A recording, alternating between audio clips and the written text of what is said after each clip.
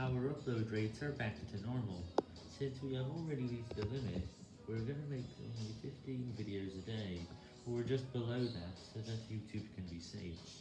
Not 30 videos a day.